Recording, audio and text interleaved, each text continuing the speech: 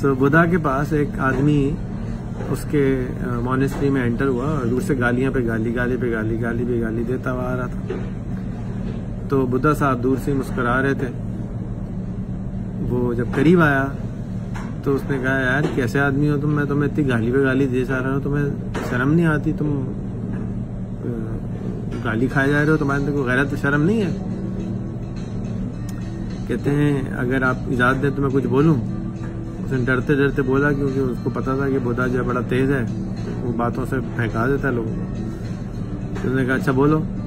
اچھا کہا، یہ بتایا آپ کے گھر میں اگر کوئی مہمان آتا ہے اور کوئی تحفہ لے کے آتا ہے۔ تو آپ اگر تحفہ نہیں لیتے، اس سے ایکسیپٹ کرتے، تو آپ وہ کیا کرتے ہیں مہمان؟ کیا کرتے ہیں؟ مہمان تحفہ لے کے واپس چلے جاتے غصے میں۔ تو آپ میرے لیے تحفہ لے کے آئے، گالیوں کا میں آپ سے نہیں دے رہا، آپ کی مرضی ہے جو کرے اس کے ساتھ۔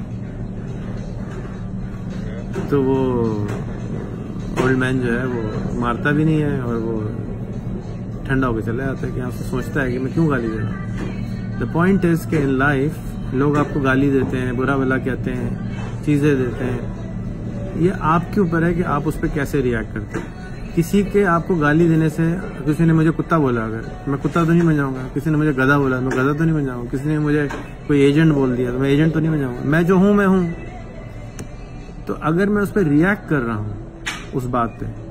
کسی نے مجھے کہا ہوئے تو ایسا ہے، تو ایسا ہے۔ تو میں کیا ایسا ہو جاؤں گا؟ تو جب میں ایسا ہو نہیں رہا ہوں، تو وہ اس کا اپنا پرابلم ہے، وہ خود غصے میں بیچارہ۔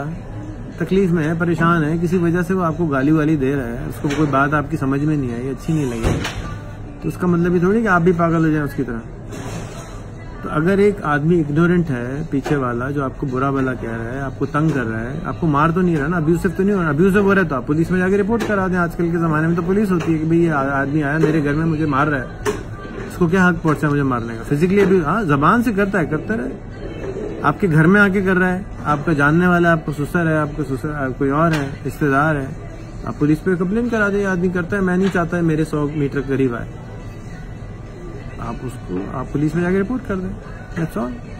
لیکن اگر وہ آپ آپ خود ہی ریئیکٹو ہو رہے ہیں، اس نے بیچارے نے گالی دی، وہ چلا بھی گیا، وہ بھول بھی گیا، گالی دی تھی اس نے غصے میں۔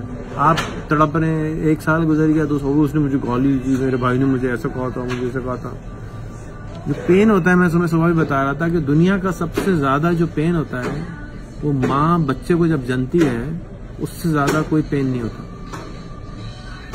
اس سے اگر آپ اس کو دیکھ لیں تو آپ اپنی بیوی کے کہیں بھی قریب بھی نہ جائیں۔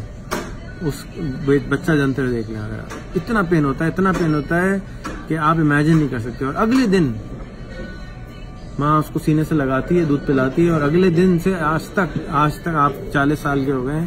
آپ کی امی نے کبھی نہیں آپ پہ جتایا ہوگا کہ تم نے مجھے اتنا پین دیا تھا پیدا ہوتے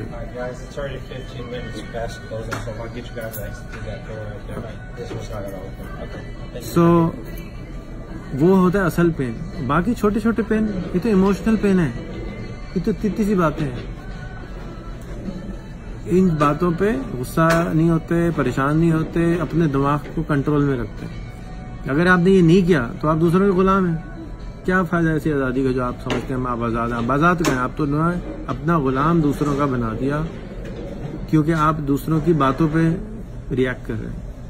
آپ کا انہوں نے ریموٹ کنٹرول لیا ہے بٹن دباتے رہتے ہیں آپ ہلتے رہتے ہیں پھٹکتے رہتے ہیں تو پتلی تو آپ ہوئے